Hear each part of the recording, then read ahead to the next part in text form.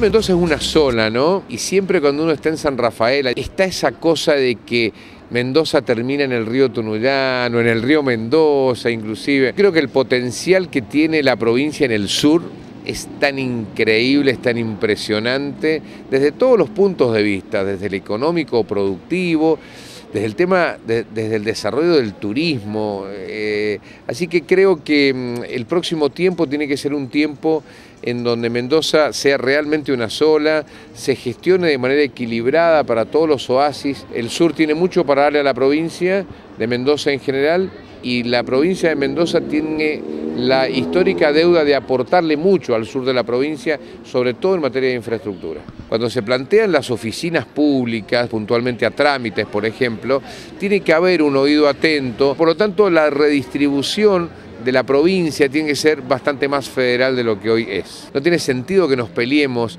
del norte o del sur o del oeste o de la montaña a la no montaña, sino veamos cómo hacemos entre todos para resolver los problemas que tenemos y hacer entre todos una Mendoza fuerte. Me acompañan Cecilia Biel y Cecilia López y Gabriel Vilche, que van a ser legisladores representando muy pero muy bien a San Rafael y con ellos y con nuestro equipo de seguridad trabajamos muchos estos temas porque hoy hay dos asuntos, entre otros, que saltan rápidamente como principal preocupación y que surge de escuchar.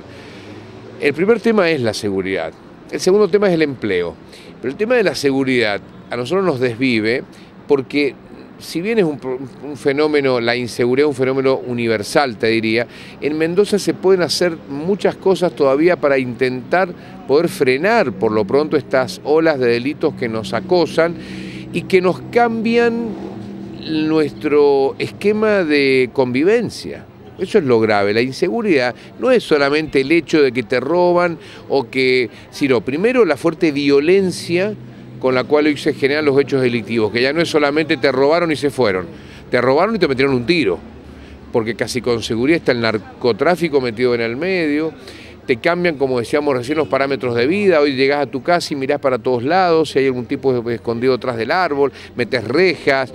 O sea, te cambia la armonía de la convivencia. Por eso creo que para nosotros, que ojalá nos toque la responsabilidad de asumir eh, la conducción de la provincia, nuestro tema principal va a ser la, trabajar fuertemente codo a codo con la policía para trabajar los temas de seguridad.